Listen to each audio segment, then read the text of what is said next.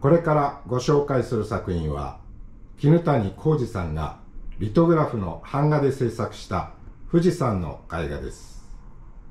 タイトルは日月万丈富岳です。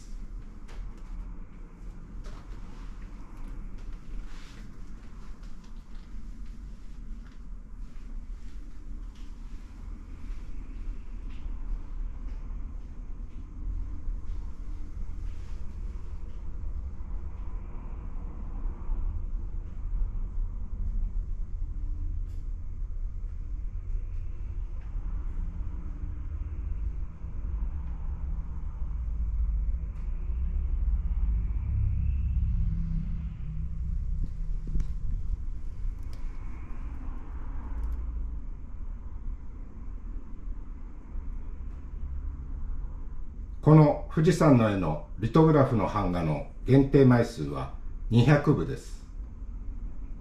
ゴールドの月と赤い太陽が描かれた情熱的な素晴らしい赤富士の絵画で